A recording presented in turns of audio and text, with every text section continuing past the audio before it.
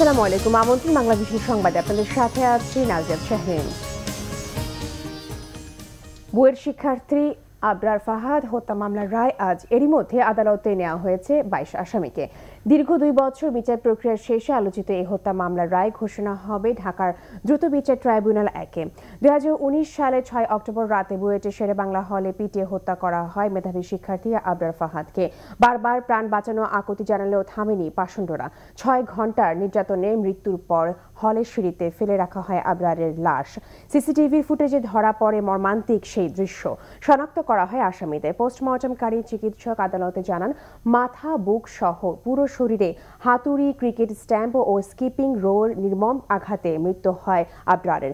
আলোচিত এই মামলায় বাবা সহ পঁয়তাল্লিশ জন সাক্ষ্য দিয়েছেন আর স্বীকারোক্তিমূলক জবানবন্দি দিয়েছে আটজন পঁচিশ আসামি অপরাধ প্রমাণ করতে পেরেছে বলে দাবি রাষ্ট্রপক্ষে। আবরার হত্যা মামলায় বাইশ আসামি কারাগারে, পলাতক এখনও তিনজন।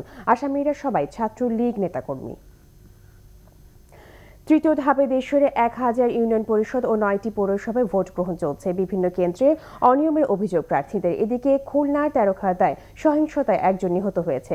সকাল আটটা থেকে শুরু হয়েছে ভোট গ্রহণ। চলবে বিকেল চারটা পর্যন্ত। রংপুর বিভাগের দুই পৌরসভা সহ আট জেলার উনিশ উপজেলার একশো একচল্লিশ ইউনিয়ন পরিষদ ভোট গ্রহণ চলছে। সকাল থেকেই ভোট কেন্দ্রগুলোতে ভোটারের উপস্থিতি বেশ ভালো। ভোটাররা দীর্ঘ সময় লাইনে দাঁড়িয়ে ভোট দিচ্ছেন। প্রতিটি কেন্দ্রে সুষ্ঠুভাবে ভোট সম্পূর্ণ করতে কাজ করছে আইন শৃঙ্খলা বাহিনী।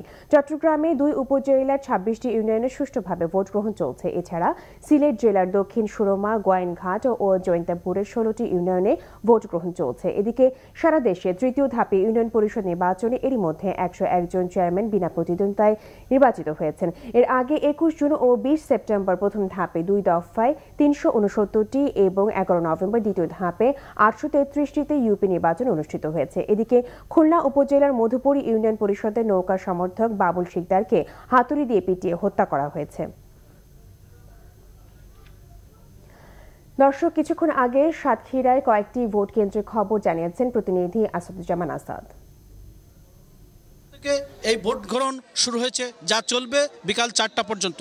এই দুটি উপজেলায় চেয়ারম্যান পদে পঁচাশি জন, সংরক্ষিত নারী সদস্য পদে দুশো জন এবং সাধারণ সদস্য পদে ছশো জন প্রতিদ্বন্দ্বিতা করছেন।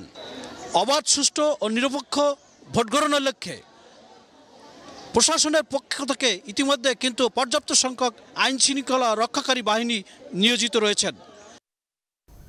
এই ছিল এখনকার মতো, পরের সংবাদ বেলা বারোটা দেখার আমন্ত্রণ রইল। এছাড়া বাংলাদেশের সংবাদ ও সংবাদ সংশ্লিষ্ট অনুষ্ঠান দেখতে ভিজিট করুন। W W W dot BB news twenty four dot com ও Facebook dot com slash news এবং সাবস্ক্রাইব করুন। YouTube dot com slash Bangladeshi নিউজে ধন্যবাদ সবাইকে।